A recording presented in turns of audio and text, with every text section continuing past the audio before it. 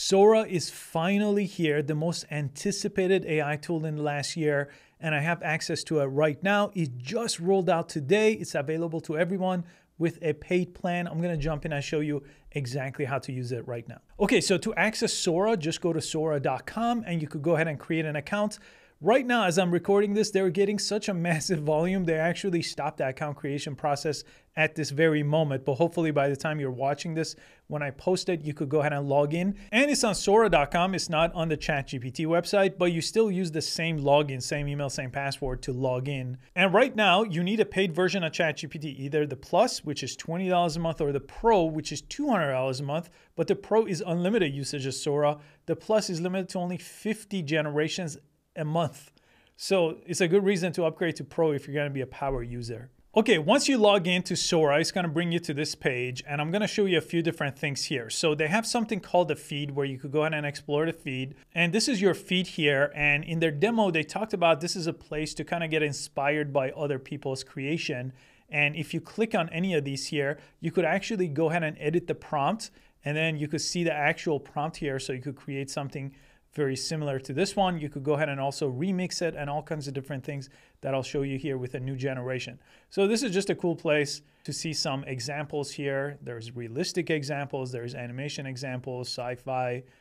Okay, back here, this is where the generation takes place. So here's your prompt box down here, and you could type in a single sentence text prompt down here to start generating. You could also upload an image. So if you like another image generation platform or any other type of image, you could go ahead and upload that. I'll show you this in a second. They have some preset options too. So by default, it's set to none. So it's going to use your prompt to figure out the type of style you want. But they have different styles available over here. So stop motion animation, for example, archival footage, film noir to get that really contrasty black and white film here. I'll go ahead and type in a text prompt and I'll show you some of these other options as well. Okay, we'll start with this one. A serene beach at sunset with gentle waves and seagulls flying in the background. That's going to be my text prompt. Then the next choice I want to choose is under the aspect ratio. If I want to create a YouTube style cinematic type of video, 16 by 9 is what I want. But it's really nice that they have vertical type videos for TikTok, Instagram Reels, and things like that.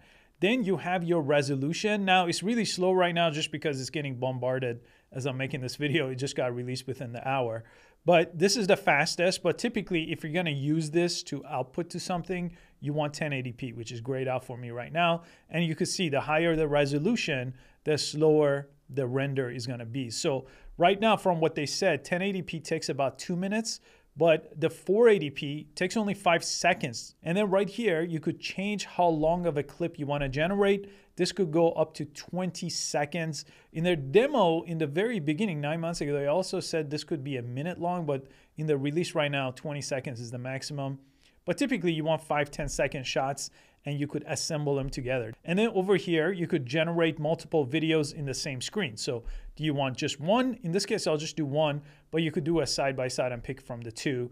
And then I'll show you that with another example. And let me go ahead and create the video from here and then I'll show you the storyboard option, which is really interesting too. Okay, let me go to the storyboard option right now. And the storyboard option is a more advanced mode, but you could do a whole lot with it. My background's in filmmaking. I've had a production company for 15 years and I've worked as a cinematographer for quite a long time till just recently. So this option right here lets you basically tell stories in multiple actions. So it says storyboard is a tool to help you visualize the actions, sequences, and timing of your video. You can use photos, videos, and text to describe each shot along with a timeline. So video editing typically you have a timeline and you tell your story in order and this has the traditional timeline down here which is what we typically use in video editing and storytelling.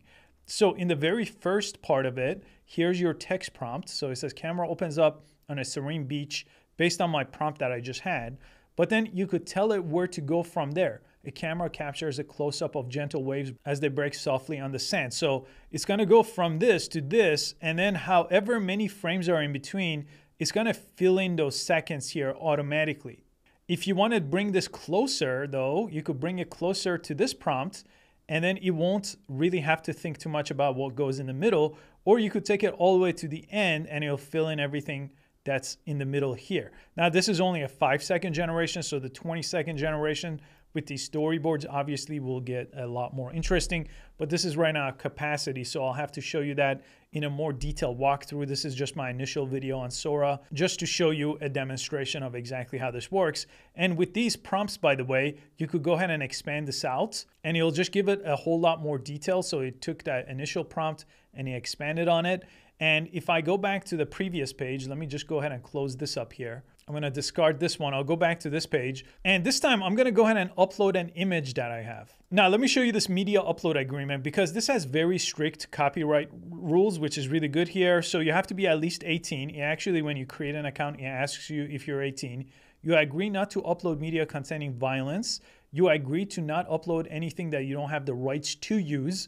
So this is very critical. It's trying to get you not to replicate copyright material here or build on copyright material. So I'm assuming if you break this, you will get suspended most likely from using Sora. And it says media containing people. Your plan does not currently support creating videos and uploading media containing people. If you upload a photo or video that contains people in the video, it will fail to generate. So that's interesting. It says any people, so that's not going to be useful for a lot of different things as far as uploading media, because sometimes I may want to create a character in a different app and upload that image, but I guess you can't do that here. So I won't try that as an example. Here's an image I generated with another app, Midjourney. I'm going to use this as an example. This is from a little short film we're creating. And I'm going to keep all the settings the same this time as well. In this case, let's do two different variations and I'll send this out too. Now, once your video get generated, if you go to the all videos tab, all of them will appear over here. And as this gets more populated, they have filtering on top. So you can see different things by filter and they have different layouts too. So they got a list view, the grid view, you could look by aspect ratio and this is the little notification. So when things do finish up, they'll appear over here. Right now, it's not letting me create any of the prompts I've given it just because it's at capacity right now, but I'll try to add those in the video if they get finished by the time I finish up this video. Now, I'll jump back to the Sora blog post on OpenAI just to point out some of the things that they mentioned over here that I think are worth a look over here. So, because with Sora, some of the things I haven't been able to show you because it's not generating is you could actually replace, remove, and reimagine videos that you generate. So, they actually, in their demo, created this video and then in the prompt, they asked it to change all the mammoth that you see over here into robots. And he did a really good job reimagining the whole scene, but he kept everything about the same. They also showed how to recut scenes. So that was a really interesting way where you could choose the best frames and then extend from that point forward. The storyboard option that I showed you, you could basically create different prompts in a sequence and try to tell an entire story this way using that storyboard option. So this is very powerful, especially if you've used any editing apps before. This is a really good way to generate images based on an editing type of a sequence timeline.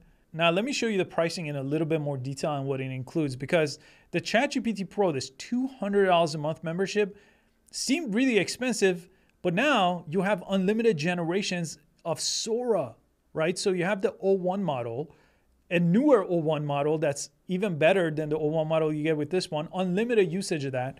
With the Sora Unlimited version, it's going to give you relaxed videos, meaning they're going to be much slower than your normal generation when you get to unlimited.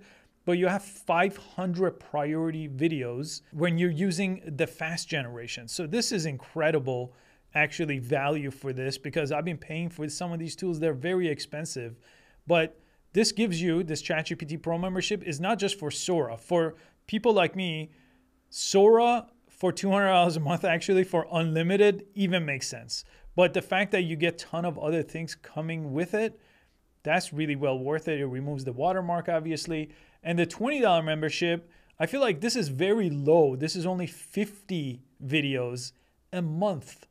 That's very low, right, for this $20. Obviously with ChatGPT Plus, you get a bunch of other stuff, but for Sora, this is very limited for me if I'm trying to make a real project. I think if I try to make a real project, short film commercial out of this, 50 videos is not even going to get me through that one project. So I will most likely have to upgrade. But again, this is for pro users. This is for just regular users that want to test it out. And it looks like I'm still at capacity. It's been a little while now and it's not letting me generate. So I'll have to do a full walkthrough where I could show you a ton of examples. As I get more access, I'll make a bunch of different examples and I'll make a dedicated video showing you a bunch of different things, including remixing and some of these other options. But I just wanted to break the news here to show you Sora, show you this available, some of the options that you have right now so you could jump right in. And with someone from the filmmaking background, I think this is one of the most exciting things that come to the world of AI. And at the same time, one of the most scary and concerning things. But the more I start using these AI tools, the more I see them as tools and not a replacement. So I think this just opens up more possibilities for storytelling well, right now, independent films could be a million to three million dollars, right? Hollywood movies are north of a hundred million dollars to make. So a lot of people are not going to have ability to tell stories. This is going to give so many new people at $200 a month with unlimited generation to tell all kinds of new stories in very unique ways. Some of the options you have inside of here are just not even possible with even advanced VFX that only Hollywood studios have access to. So I'm really excited to dive in and see what this could get me. I have a lot of stories, a lot of scripts that I was never able to make, and this makes a lot of that possible. And as always, with a new powerful tools, I'll make a dedicated course. So we have an entire course platform, SkillLeap AI, where we have over 20 courses, me and other instructors, and we release new courses all the time. And since this is one of the most iconic AI apps to come out in the world of AI, I'll be sure to make the course a priority so I could roll it out as soon as we can. I'll link that in the description. That one also gives you access to 20 other courses, a community, all kinds of resources. So it's an affordable AI education platform. Thanks so much for watching this video and I will see you on the next one.